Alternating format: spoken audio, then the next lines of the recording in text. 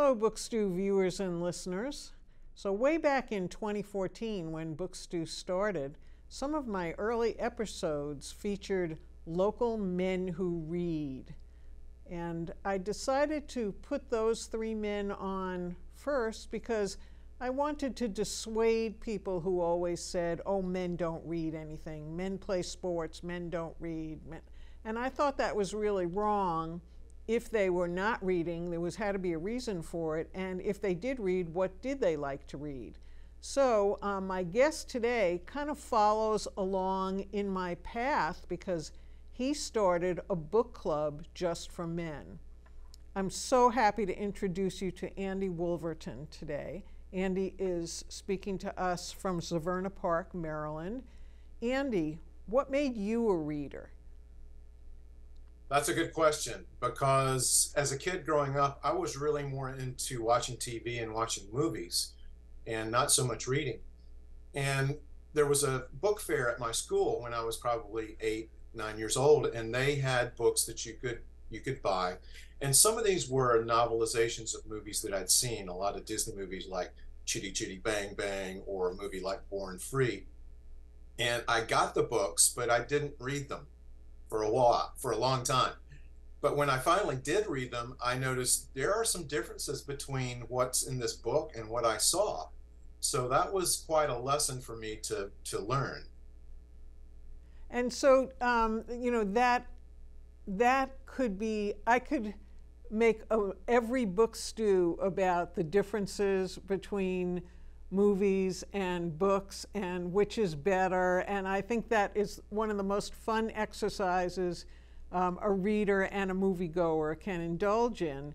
But you have evolved to become a professional reader in a way. Why don't you tell us about your job?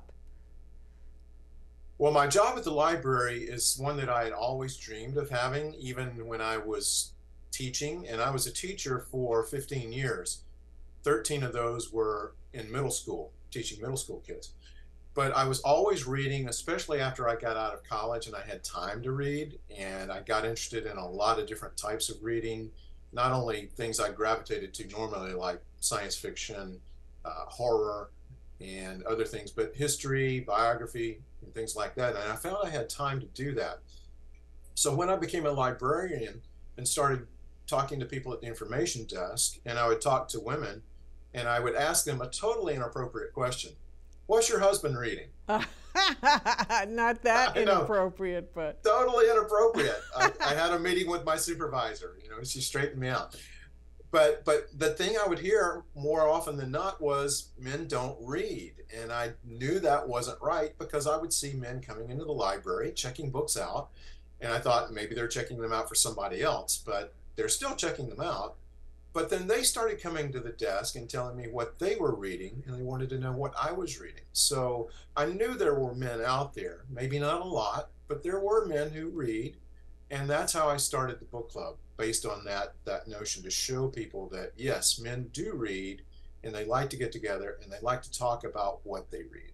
All right, so I'm just going to pop a statistic in here from your book, and your book is called Men Don't Read, which is kind of, it should maybe should be Men Do Read or Men Will Read sometimes, or uh, men like to read but they don't like to talk about it. But um, I understand the reason for the title. But in your book, you say there are 5 million book clubs in the United States, which is pretty amazing, and 90% of them are all women.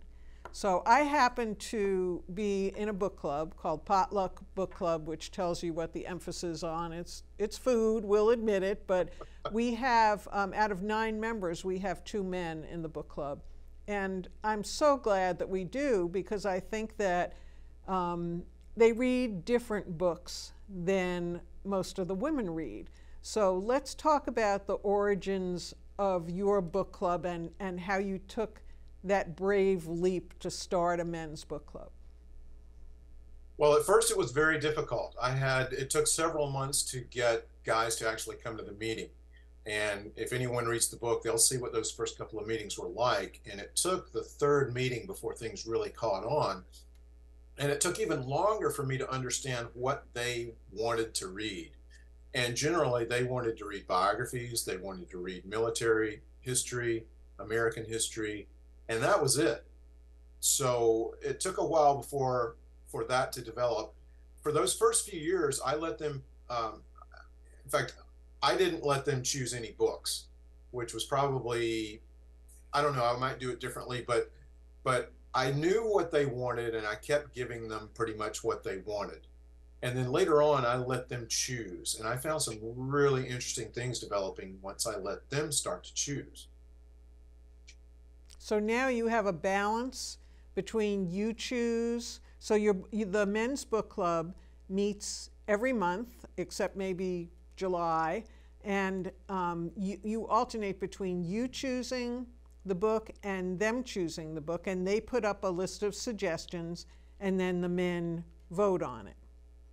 Right, right. That's exactly right. Uh, we I took the month of July off. I did, but they didn't. They kept meeting.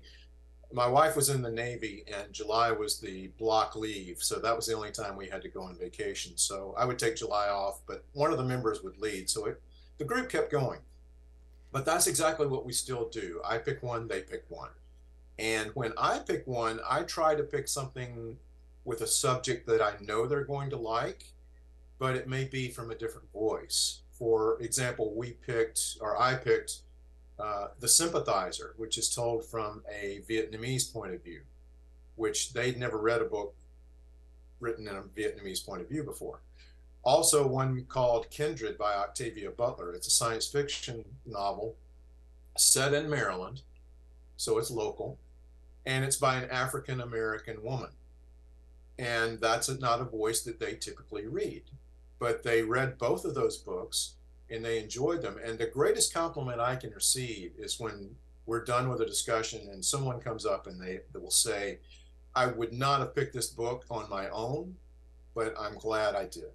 I'm glad that's, I read it. That's uh, that happens in our book club too, and we've also found that the books that everyone dislikes the most engender the best discussions. mm-hmm. But um, I wanted to mention some other another interesting uh, part of your book that um, that you that you where you claim here that boys are taught that reading is not a cool activity for boys. And I thought that was so sad based on I'm also a reading tutor in the Boston Public Schools and you know we tutor about half girls and half boys and on their uh, first, second, third graders. I don't, I don't find that to be so, but I know that if I'm going to, for the older kids, if I'm going to get a sports book, that's really going to grab them. Where if I, um, if I just do fiction and a story, they don't seem to be as motivated and interested. And you did say that you thought it was because the way, whether it's the way boys are raised or whether they are naturally their, um, their enjoyment is more in movement and in motion, where girls are not necessarily taught that way traditionally, and so they're more content to, to settle down and read. Did you ever talk to any of the men in your book club about you know, their reading lives and how they came to read? I did, and some of them gave me some very interesting anecdotes about their fathers helping them to develop as a reader from a very young age. I would hear that story from time to time, not a lot, but most of the men in the book club developed the habit of reading later in life, like I did uh, after college, and for various reasons. But you bring up a great point because and again, there there are a lot of generalizations out there that you know boys typically like to read nonfiction, girls like to read fiction. It's a generalization, but there's some truth to it. But what I found is boys generally want to read something that has importance or validity to them right now. Wow, hmm. like how can I put something together? How can I build this great structure? How can I run faster? How can I score more touchdowns? They want something that's very practical that they can use now. They don't typically see any benefit in something they might use in the future. And fiction is a particularly tough sell for those guys unless they see themselves in those books. So that's one reason why they like sports stories, uh, you know, books about uh, people that are inventors that do something, that build something. So that's kind of what is ingrained in them to some degree. And again, those are generalizations. So um, I would like you to read a passage from your book that I found particularly enjoyable because um, one of the some of the best parts of the book are your successes, but also you know problems that you had and barriers and resistance. So um, and also about how to handle uh, members of the book club that um, maybe are not uh, not as uh, helpful members as some of the others. So why don't you tell us the story of one of those guys? Sure, I'd be glad to. So this is a, a an account of when we were reading as a book club uh, the Bill Bryson book, A Walk in the Woods, about Bryson and the Appalachian Trail and his adventures there. And so the guys were making comments on the books, sharing their experiences, and everything went really, really well until a new guy started to speak. He'd never been to the book club before, and I'll call him Ed. So here's a part from the book. Ed was a large man, but not fat, a big guy who looked like he could have once played linebacker for a good college football team, maybe even pro. A man in his early 40, mid 40s or early 50s, still in good shape. He sat near the door at the end of the table, almost as far away from my seat as you could get. After the discussion had been going for a good 15 or 20 minutes, Ed began relating a story about one of his own hikes. Now, understand that Ed didn't start this travelogue by announcing that he was undertaking an anecdote or a story, and certainly not an epic tale of Homeric proportions. He just started talking. And he kept talking, and talking, and talking, relating the microscopic details of one of his hikes, including his surroundings, what he had packed, the weather conditions, barometric pressure, you name it. Throughout his tale, Ed's eyes never met those of any of the other guys. Instead, he focused on the table, the ceiling, anywhere but the faces of the other guys in the room. He was in his own little world and was clearly holding court. Maybe this was the first time he'd ever told his story, or perhaps he felt it was the appropriate audience. I began to think maybe I should either call the Guinness Book of World Records or the Johns Hopkins School of Medicine because this guy didn't pause for a single breath in what seemed like 10 minutes. There was literally no way to get a word in because of Ed's hiking manifesto was an enormous stream of consciousness sentence worthy of James Joyce, one that seemed as if it was never going to end. So I looked around the room thinking, maybe it's just me maybe this isn't going on as long as I think it is. Initially, I saw guys watching Ed, listening attentively, respectfully, and there were no anxious looks on their faces, so maybe it was just me. And the story kept going, with Ed showing no signs of flagging. This wasn't a story, this was its own multi volume travelogue, and we were on perhaps page seven or eight of what I feared would be the war and peace of hiking stories. Looking around, I noticed other guys were now starting to fidget, rubbing their chins, looking at their phones, looking at me. I knew I had to do something. I'd always wanted the guys to be able to speak freely, but this was getting ridiculous, approaching filibuster territory. but how could I stop this guy without being rude? It was Ed's first time with the group, and while I certainly wanted him to have his turn, I had to let him know that this was a group that allows everyone who wants to talk an opportunity to do so. He clearly wasn't allowing anyone else to do that. Maybe it was just an honest mistake, or maybe he was a blowhard who just didn't care. I didn't know, but I knew I had to do something fast. How long this went on, I can't be sure, but I finally interrupted Ed in mid sentence. Ed, that's a great story.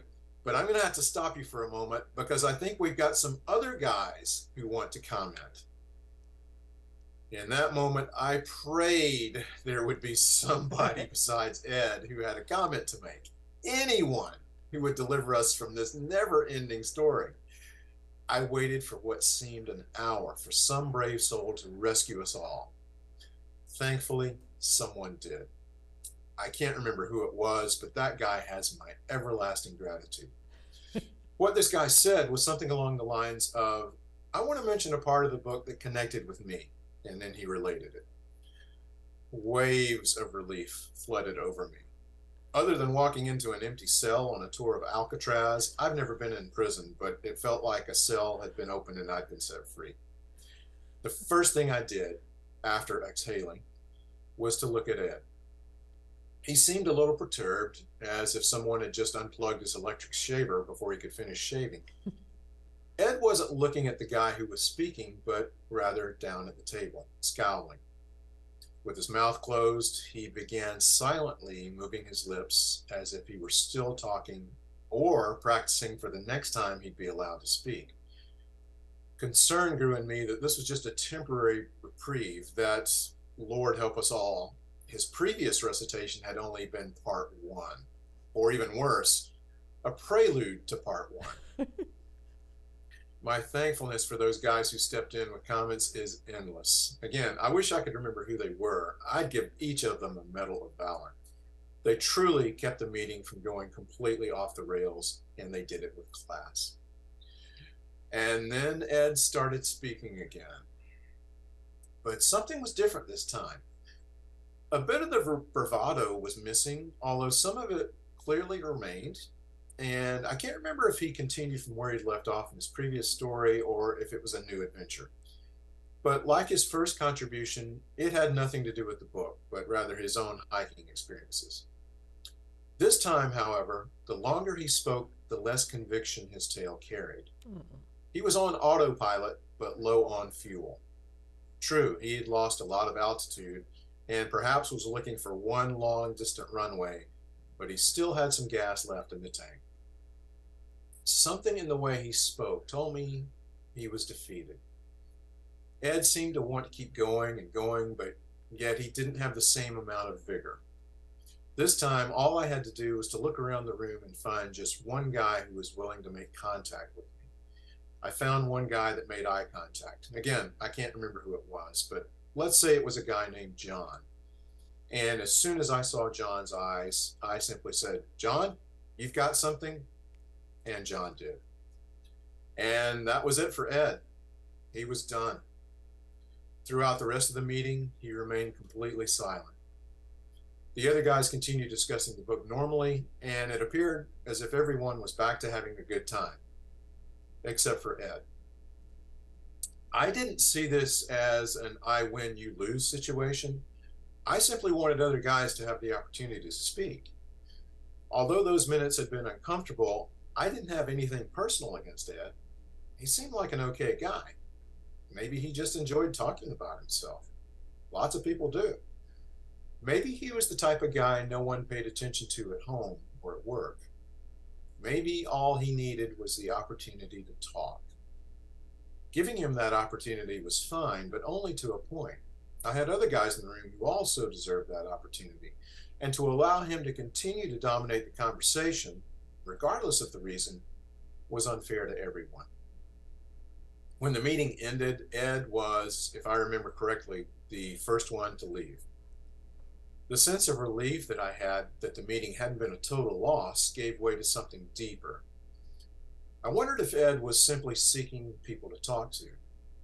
No, that, that wasn't exactly it. He wasn't conversing with the other guys, he was just relating his own experiences to them, which I suppose could have been his way of interacting with people. As I mentioned earlier, maybe he had nobody else in his life who would listen to him. I felt that maybe I should have said something to him, but I didn't know what that would be. I learned a long time ago as a teacher that when students in my class disobeyed or broke the rules, it probably had nothing to do with me. In many cases, there are problems going on before they ever get to your classroom. It could be they're new students and really don't know the rules yet, or maybe they're just testing the waters to see what the limits are. But sometimes those students aren't breaking the rules just to break the rules. There's something else going on in their lives, something they're they're not sure how to handle. breaking the rules can simply be a way to get attention, but sometimes it's a cry for help. Now, I'm not trying to play armchair psychiatrist here. First of all, I'm not qualified to do so. And second, I wouldn't want the job. Yet sometimes there's something there. I didn't know what might have been going on with Ed, but at the very least, I should have spoken to him and thanked him for coming to the meeting. I don't know. Maybe he would have said something, maybe not. I'll never know now. After that meeting, I would see Ed come into the library from time to time. He was always alone, always looked at the displays of new fiction and nonfiction, and never came anywhere close to the information desk. I struggled with whether I should approach him and at least say hello, and I'm sorry to say I never did. Maybe that one bad experience kept me from talking to him, or perhaps my fears got the better of me, keeping me from making that first step that would have led to a better understanding of the guy. I deeply regret not doing so. I decided that in the future I would try to do a better job of seeking to understand problem situations and the people behind them. It was ironic that I could walk up to any guy in the library and start talking about the Guys Book Club, but hesitated to initiate a one on one conversation with someone who had made the effort to attend, someone who had stepped out on a limb, maybe even gotten out of his comfort zone and joined us. Even with that problematic meeting, Ed had taken the first step, but I had not taken the next one. Oh, that breaks my heart, but makes me laugh on many, many, many levels. Um, the fact that you're honest enough to, and you do through the book, you mention times when you could have reached out, done something differently, and you didn't do it. But I think this maybe gets into the root of why a lot of men would not join a book club. Maybe they even like to read, but maybe they don't want to discuss. When um, I've been in a book club for over probably 40 years now, and in the beginning, when my best friend and her sister said, We're starting a book club, do you want to join? I, I, they said, We know you read more than anybody else. I said, Yeah, but that doesn't mean I want to talk to people about it. Of course, now I have a show where I talk to people about it and this book club that has lasted forever.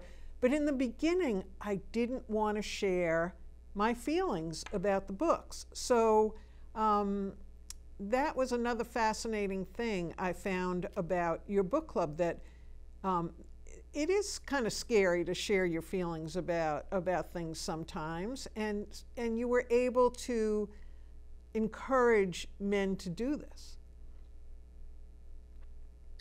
it, it is a scary thing for a lot of guys, and you're right. Um, and in fact, in the book, I talk about one guy who never said anything in any of the meetings, and he kept coming and he kept coming.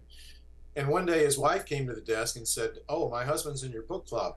He loves it. He can't stop talking about it when he gets home. I have to hear every detail." And I'm like, "Really? He doesn't really seem very engaged in the meetings." And she says, "He loves it. He just cannot stop. I have to just tell him to be quiet." So you have those people that that are engaged, but they for some reason they're not willing to contribute. And then you got guys like Ed that just cannot stop. And and my biggest regret that with Ed is I didn't talk to him after the meeting or the next couple of days and say I'm so glad to have you, um, but you know we want everybody to participate. To gently tell him that I should have done that. And but but you're right. I mean I think learning from our, our mistakes and admitting our mistakes, you know, maybe this will help someone else in a similar situation. It may not be a book club, but maybe it's a family gathering or business meeting or something that this might help somebody else deal with that problem. Speaking of dealing with problems, how did the book club, the guys' book club, deal with COVID? COVID was a tough time um, I'll be honest, we, we didn't know exactly what was going to happen because for several weeks the library was closed. There were there was no access to books. So thankfully I had all the guys on my email list and I contacted them and I said, here's an option. Uh, we could go to public domain books that you can we can read on the internet and we can talk about those. which actually worked really well because I'd always wanted us to do more classics. And so this time we were forced to do classics and we met via Zoom and we, uh, we toughed it out. Did you have um, the same, like, I know that after you've been meeting with a bunch of people for a while, you get to identify their characteristics and stuff.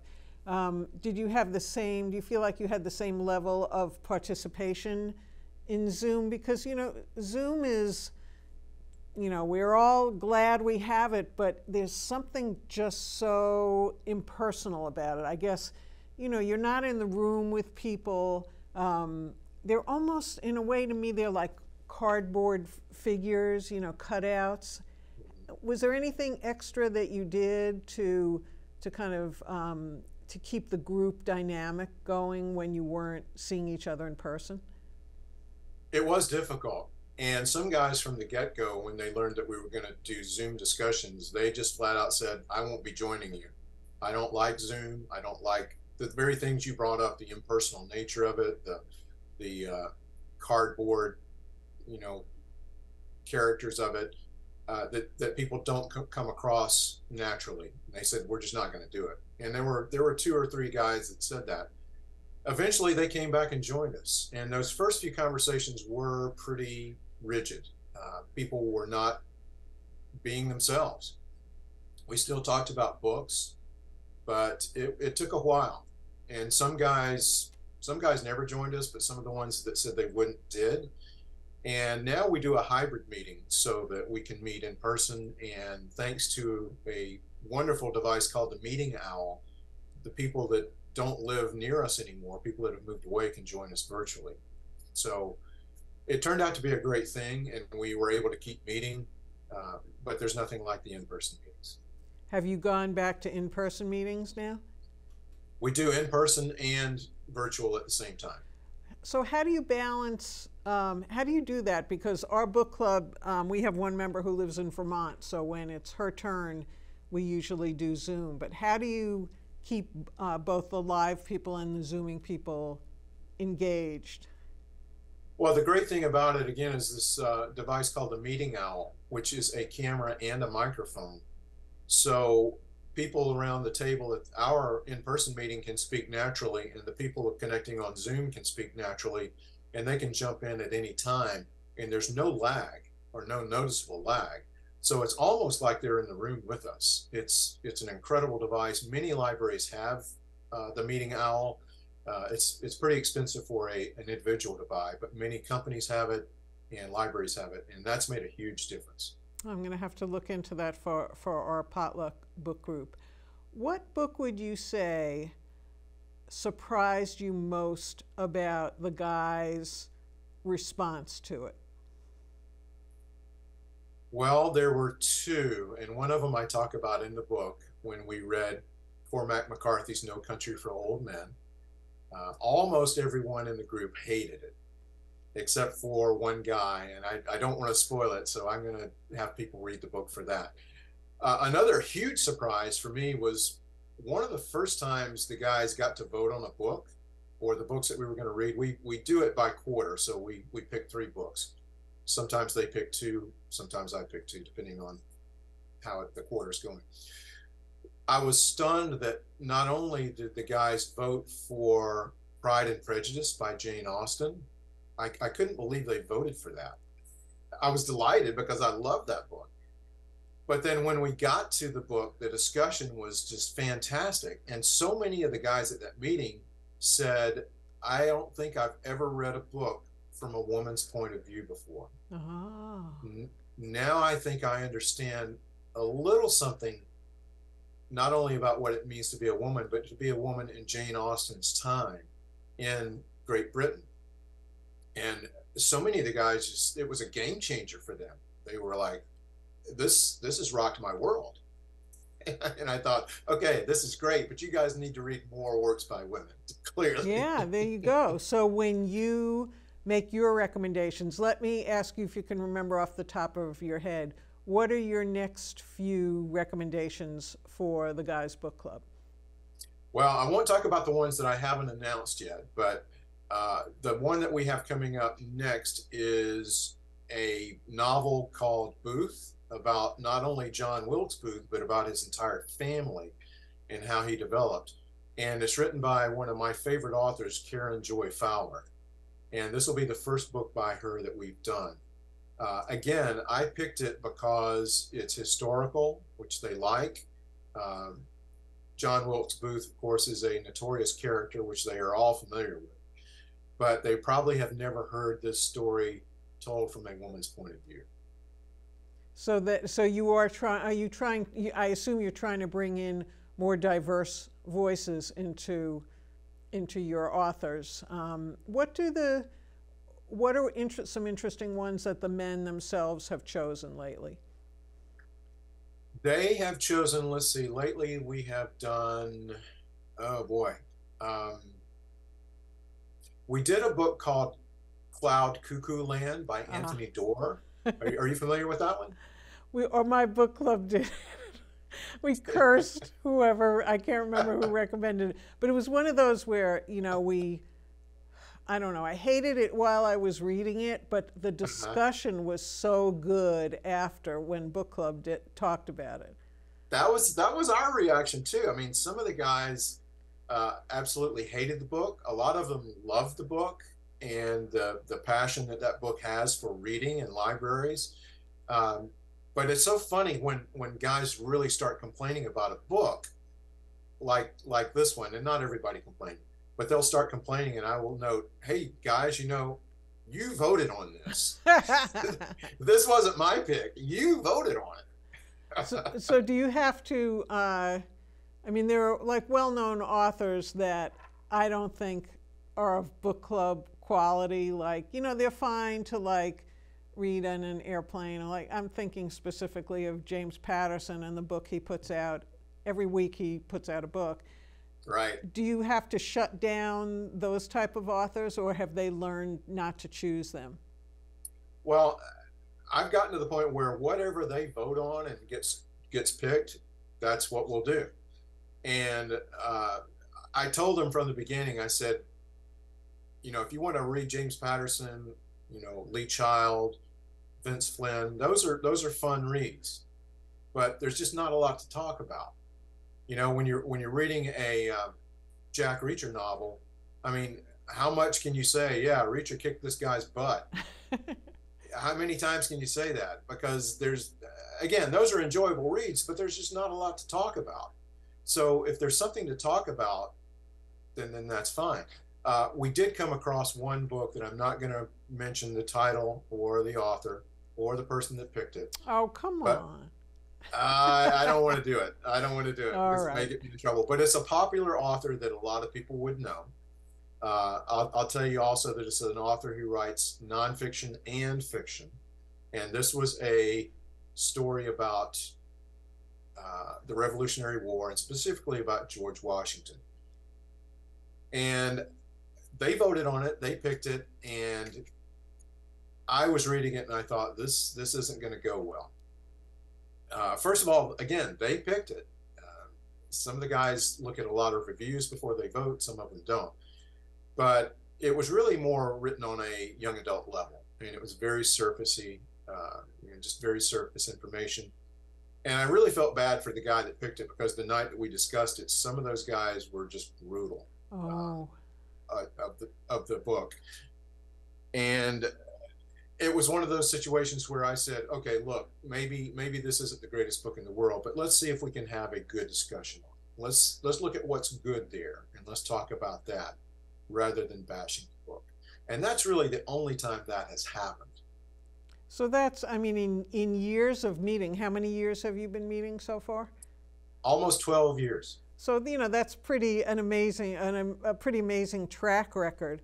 But our time is up. So um, I, Andy, I want to thank you so much for uh, coming on Book Stew, and uh, your joining us was recommended by your distant cousin Gigi Shenlujian, who is one of the mavens of our library's annual jewelry sale, and that's where I found out about you. So uh, Thanks to Gigi and thanks to you, Andy. This has been a really enjoyable half hour. Thank you so much. Well, thank you so much for having me, And- and I'm hoping hoping that everybody in your neighborhood and mine keeps reading. Excellent recommendation. So, Books Stew viewers and listeners, here's the book once again. It's called Men Don't Read, and it, the, it's also the unlikely story of the Guys Book Club by Andy Wolverton. I hope you'll pick it up, and thanks for joining us today. And start a book club, join a book club. You'll you'll get you'll get a lot out of it. Have a good night.